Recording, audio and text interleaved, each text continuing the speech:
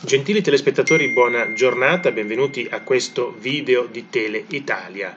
Voi eh, vi ricordate che Luigi Di Maio dà le dimissioni un po' per dissimulare, il movimento dal 33 passa al 15, perde la metà dei voti, si cominciano a concentrare su di lui tutte le, eh, le gli odi del, del all'interno del Movimento 5 Stelle, così lui decide di andare via contro la volontà di Beppe Grillo, un po' per far capire che non è colpa sua, un po' per scaricare su qualcun altro e arriva Vito Crimi, un anonimo deputato del, eh, del del Movimento 5 Stelle che subito dice eh, dicono che io, so, che io sia l'uomo giusto al momento giusto.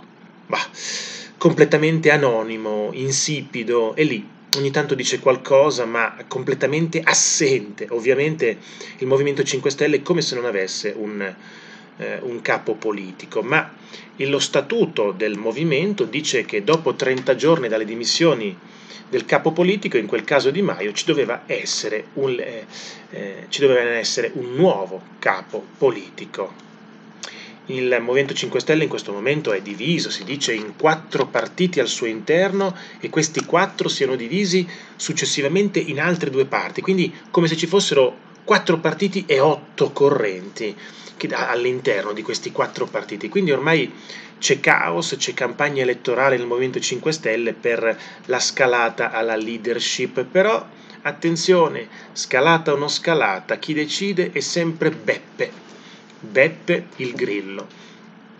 E quindi alla fine è lui quello che dà o non dà il beneplacito per questo o per quella eh, persona. E quindi negli ultimi giorni la nuova votazione era stata invocata eh, da eh, dall'ala di Barbara Lezzi, Ignazio Corrao, che spinge per Di Battista nuovo capo politico e caldeggia anche, secondo indiscrezioni, caldeggiata da Davide Casaleggio. E non è poco avere l'appoggio di Davide Casaleggio, il figlio del cofondatore con Beppe Grillo del Movimento 5 Stelle.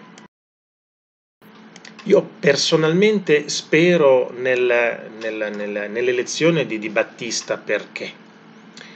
Piuttosto che un altro anonimo burocrate come può essere Vito Crimi o, o, o altre persone, non, non, non, fatemi dire esattamente quello che penso, che non è simpatico, ma le uniche due persone, si era sentito poi addirittura di, di, di, di Virginia Raggi, mi viene, mi viene la pelle d'oca pensare solo, meglio che non dico niente, no? quindi, quindi tra, tra tutta questa platea di persone, anche qui in questo caso è meglio che non dico niente, solo Di Maio e Di Battista mi sembrano quelli più mediatici, nel senso che Di Maio, l'uomo che sussurrava il virus, ma volete toglierci Di Maio il piacere di fare dei video per parlare dell'uomo che sussurrava il virus che aveva sconfitto la povertà con il reddito di cittadinanza, no?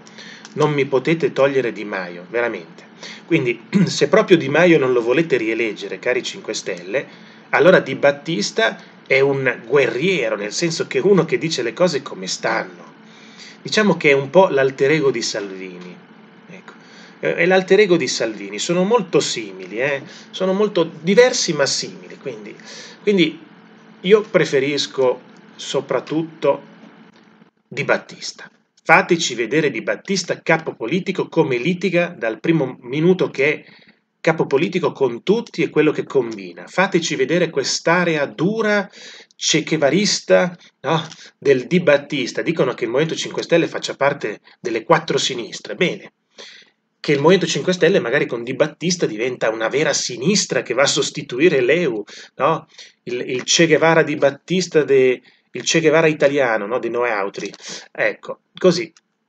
Quindi ha il supporto anche di Davide Casaleggio che ha, un'influenza notevole con Beppe eh, Grillo, il comitato di garanzia che comprende anche Vito Crimi, reggente, impectore del movimento, chiama direttamente in causa il garante. Beppe Grillo, fissa, Beppe Grillo fissa un termine per le elezioni del nuovo capo politico dei 5 Stelle. Le consultazioni saranno da svolgere entro fine del 2020. Beh, comunque ci sono otto mesi. si legge in una lettera allegata al post dei 5 Stelle che spiega la decisione e dice ritengo indispensabile che il Comitato di Garanzia, alla luce delle, della eccezionale condizione di emergenza sanitaria, sociale, politica ed economica in cui versa il Paese, attenda la normalizzazione della situazione. Scrive Grillo, motivando la deroga allo statuto con le circostanze eccezionali ed imprevedibili, come quelle che stiamo vivendo imprevedibili. Attenzione, attenzione. Caro Beppe Ghirillo, le circostanze imprevedibili, mi spiace contraddire un elevato del tuo peso, ma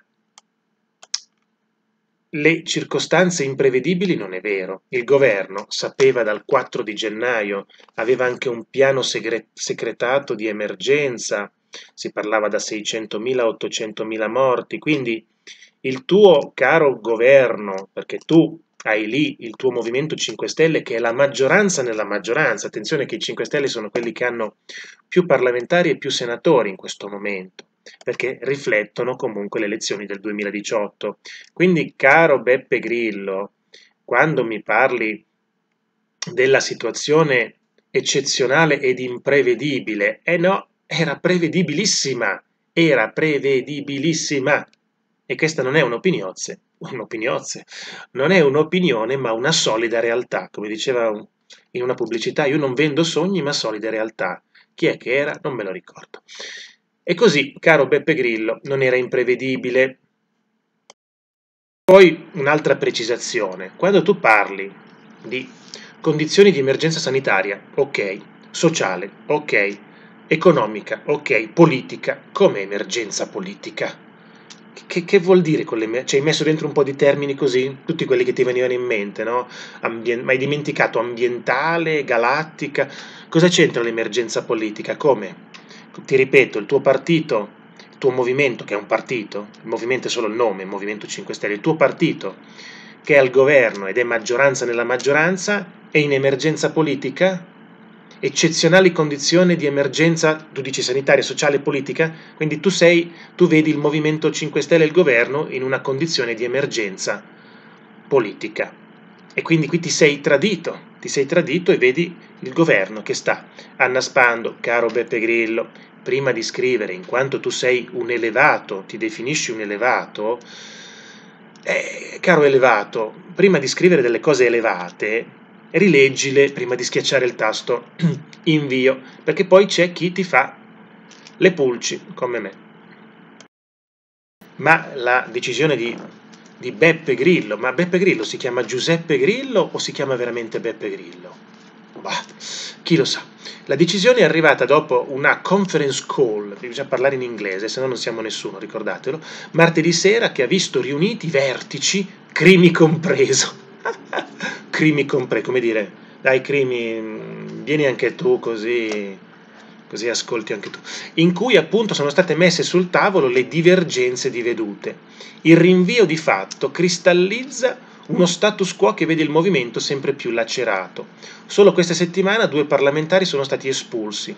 Quattro eurodeputati hanno ricevuto la lettera di avvio di una procedura nei loro confronti da parte dei probiviri, no? Oggi invece hanno dato l'addio ai 5 Stelle Antonio Zennaro e Fabiala Bologna, entrambi alla Camera, e a Montecitorio ben sette deputati hanno votato contro l'ordine di scuderia del movimento, tensioni che si riflettono sulla base, sempre più critica e distante dai pentastellati. Certo gli addii sono passati un po' sottotono, ma, ma sono importanti perché i numeri sono realmente sotto il livello minimo per far passare le leggi nella maggioranza.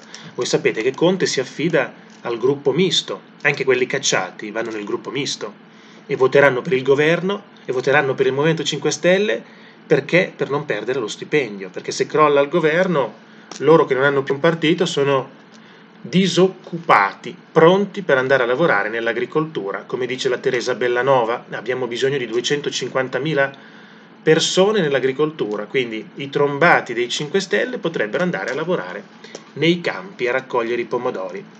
Io vi ringrazio per avermi ascoltato, vi invito ad iscrivervi al canale, l'iscrizione è gratuita, siamo anche in Facebook nella pagina Tele Italia. Io vi ringrazio per avermi ascoltato e vi auguro buon proseguimento di giornata. Arrivederci.